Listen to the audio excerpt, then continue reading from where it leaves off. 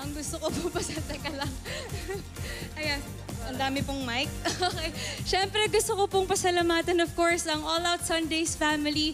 Sa lahat po na bumubuo, maraming maraming salamat. Siyempre sa Sparkle, sa, of course, sa buong GMA. Maraming maraming salamat. And siyempre, sa aking mga sunflowers!